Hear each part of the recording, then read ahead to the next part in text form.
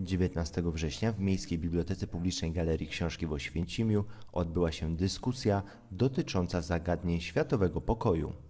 Uczestnicy debaty, w tym międzynarodowi goście, opowiadali o swojej działalności na rzecz pokoju i doświadczeniach w zakresie promocji kultury pokoju we współczesnym świecie. W dyskusji wzięli udział m.in.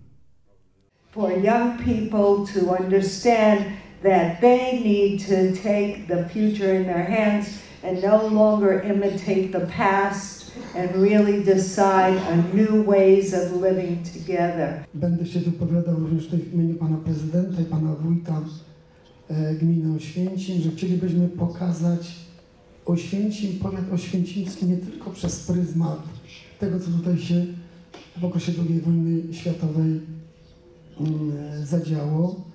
Niemniej jednak wiemy o tym, że o historii należy zawsze pamiętać, ale tak jak powiedziałem, moim zadaniem, naszym zadaniem jest również pokazywać Oświęcim nie jako Auschwitz, ale Oświęcim jako Oświęcim. Potrzeba bardzo wiele namysłu, rozwagi, uwagi, pokory wobec e, historii, która tutaj się wydarzyło i respektu wobec ludzi, którzy tutaj mieszkają i tworzą współczesność Auschwitz-Birkenau jako miejsca pamięci, ale i Oświęcimia jako miasta. Trzeba bardzo uważać, mówiąc o pokoju, e, żeby nie popaść w patos i w, em, w powtórzenia. I, I zawsze istnieje niebezpieczeństwo, że jeżeli ktoś po raz kolejny mówi nigdy więcej o Święcimia, zawsze niech będzie pokój, prawda? I jeszcze kilka innych można byłoby przywołać. E, Niemalże sloganów to istnieje niebezpieczeństwo nawet pewnego nadużycia. Natomiast jeśli za tym idą konkretne działania przejawiające się e, w, w, w rozmowie, w analizie i w konkretnych edukacyjnych działaniach, to wtedy jest to prawdziwe, autentyczne i mamy nadzieję, że ta inicjatywa, która dzisiaj w jakimś stopniu jest e, tutaj anonsowana, te znamiona posiada i daje nam to dużą nadzieję. Znalazłem kiedyś fantastyczną wypowiedź Johna Lennona, którą zawsze e, przy tej okazji e, chcę e, ożywić i przywołać do wspomnień, kiedy John Lennon pytał się podczas zawieruchy e, wojny wietnamskiej, że nie możemy być bezczynni, nie możemy trwać i patrzeć na to, co się dzieje. Musimy coś robić. Teraz trzeba sobie odpowiedzieć pytanie, po której stronie jesteś. Jak nic nie robisz, to po której jesteś stronie? I komu pomagasz, jak nic nie robisz? A kolejne pytanie to jest, kim są oni, którym Ty pomagasz, jak nic nie robisz?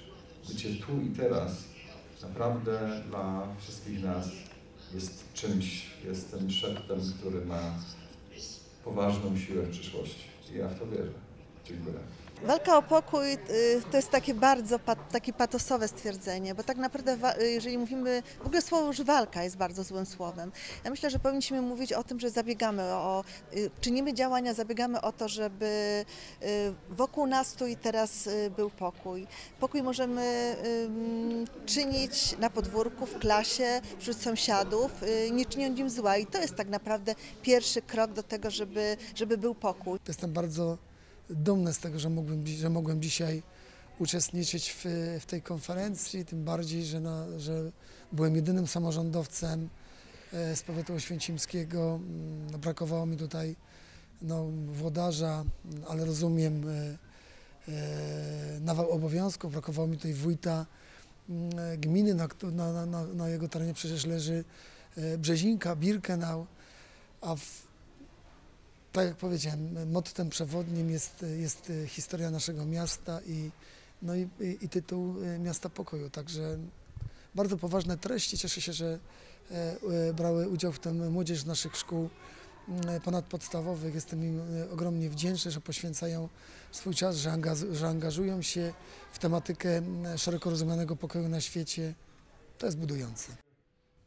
Inicjatorem konferencji w Oświęcimiu jest Międzynarodowa Organizacja Dzieci Ziemi.